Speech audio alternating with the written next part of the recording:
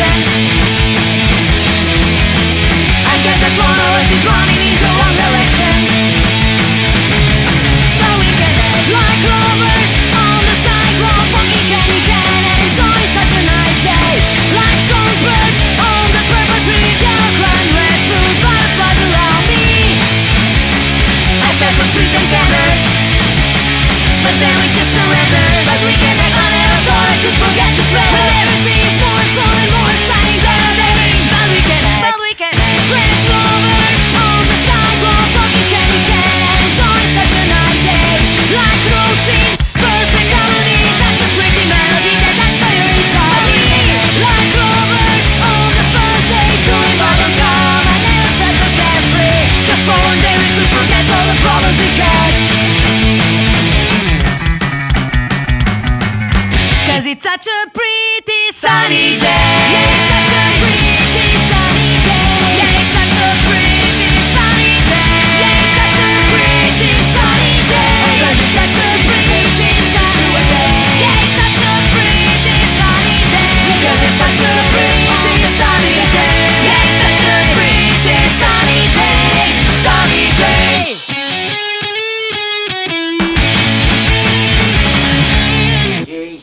Fucking Christ, this fucking state. Who the fuck does this fucking warden fucker think he is?